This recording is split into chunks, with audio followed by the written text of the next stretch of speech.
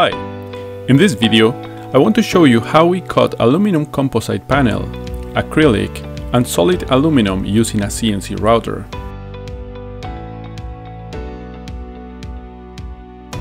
There are a few factors that need to be taken into consideration to achieve good quality cuts.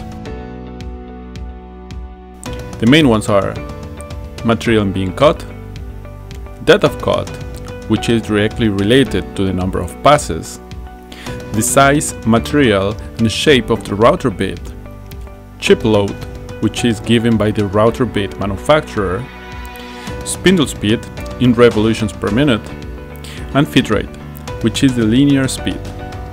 The last three are related by this formula.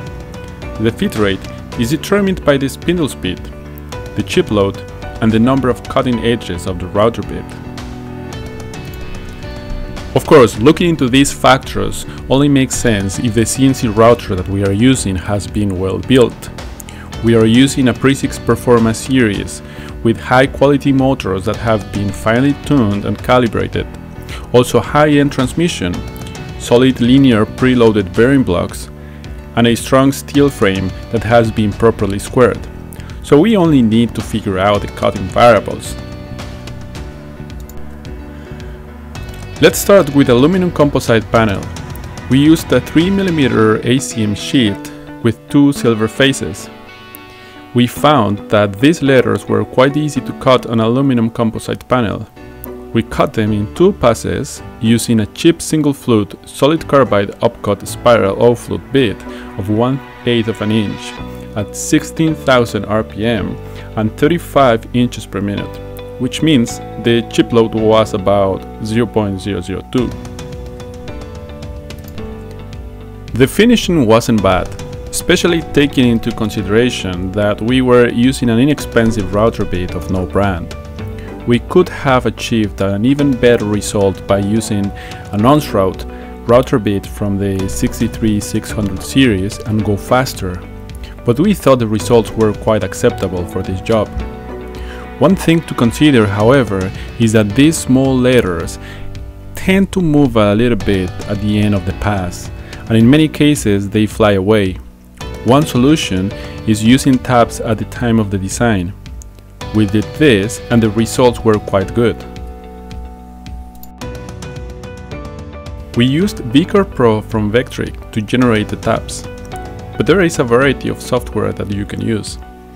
Here, under Profile Toolpath, you click on Add Tabs to Toolpath and select the length and thickness that you want to use. We used 1 8 for the length and 132 of an inch for the thickness. You can also edit the predefined tabs and change the number of tabs per vector and move the position of the tabs as an option. Then, you can click on Calculate to generate the profile. Run a simulation if you want, and easily export the G-code to Mach 3 or a different controller by selecting the right post-processor from the list.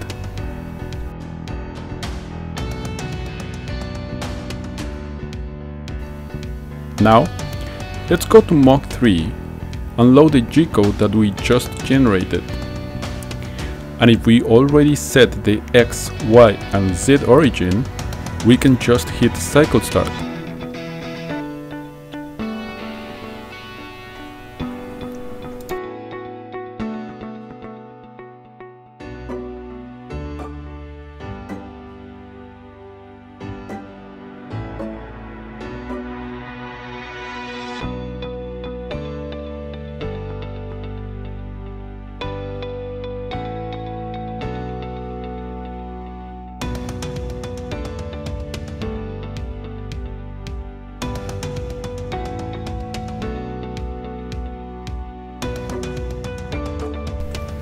When the machine finished, we used a cutter to cut the tabs.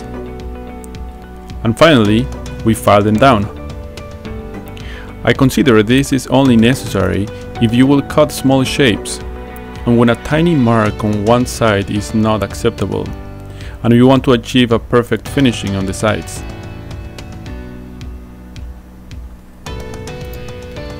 The next one we cut is solid aluminum We used an Onsrud 65012 router bit, which is a single flute solid carbide upcut spiral O flute with a diameter of 1 8 of an inch and with a cutting length of half an inch. This is a router bit that is sold for hard plastics and aluminum, as the single O flute helps clearing the debris. We cut it in 4 passes at 9000 RPM and 27 inches per minute, which means the chip load was 0.003. The first challenge was to secure the quarter of an inch aluminum plate to the table. Using clamps and screws did not work quite well for us in the beginning. The piece moved and the bit broke, so we tried cutting a pocket that was only 132 of an inch larger than the 12 by 12 aluminum plate. Then we inserted the aluminum in the pocket and that fixture worked much better.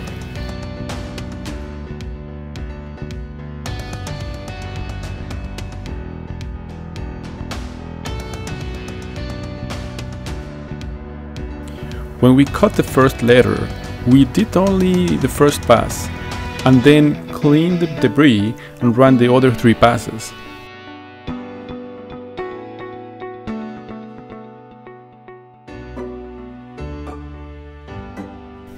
The tool bit didn't go all the way through because the plate was slightly tilted, and we used a marginal value for the thickness on the software.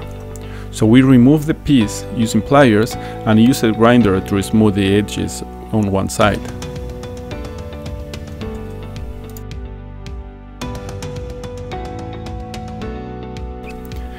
After running the second test, we found that the bit was too long and too narrow, and the coolant was not appropriate, as we used Masters cutting oil for pipe that was handy in the shop and the tool bit broke the moment we sprayed the lubricant to the tool bit. We found that A9 aluminum cutting fluid is suitable, also mineral oil, and surprisingly WD-40 seems to give the best results. We also found that using a quarter inch or 3 8 tool bit is better whenever a wider diameter bit can fit in the design, as it is more difficult to break. Also, using a shorter cutting length such as 3 8 is ideal. The recommended feeds and speeds from Onsrud are also in the description below. Cutting aluminum is completely possible with a solid CNC router like this. However, we still have to run more tests cutting aluminum using a wider tool bit and a more suitable lubricant. We will show this later on a second video. For now, let's move on to acrylic. We started cutting acrylic using an upcut router bit with two flutes, and the results were quite disappointing. The acrylic cracked and left a poor finishing. Then we tried a cheap single O-flute router bit, but the finishing was still terrible, despite using the recommended feeds and speeds. So we decided to get a good quality router bit from Onsrud. These are specifically designed for hard plastics these are more expensive than generic bits from China, however the results were amazing. This video is by no means sponsored by Onsrud. There are other reputable brands for router bits, such as Hartlauer and Amana Tools, but we found this convenient as they were available on Amazon at the time we ordered. As soon as we put on the new router bit, we noticed that the finishing changed from rough and unacceptable to smooth and visually appealing. We cut a 3 8 of an inch in 3 passes at 18,000 RPM and 108 inches per minute, which means the chip load was 0.006. The recommended feeds and speeds from Onsrud are also in the description below. If you look closely, you can see there is a small mark left after we cut the small letters on acrylic.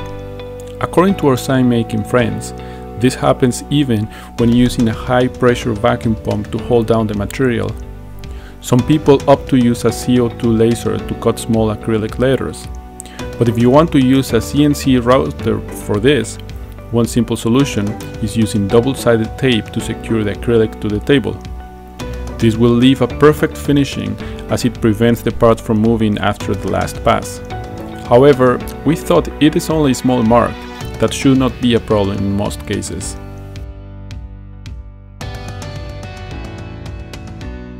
Finally, we built this shipping package that ended up looking more like a custom box. We could have used the CNC router for this, but we decided to use a Precix CO2 laser instead, because the curve is much smaller than the diameter of the router bit, so it is easier to create the inlay. Now, these samples are ready to be shipped. We will keep experimenting with different router bits and different materials and share the results of our research with you. Feel free to subscribe to this channel if you would like to know when a new video is released, and give us a call if you would like to get one of these machines at a great price. Thanks for watching and see you next time.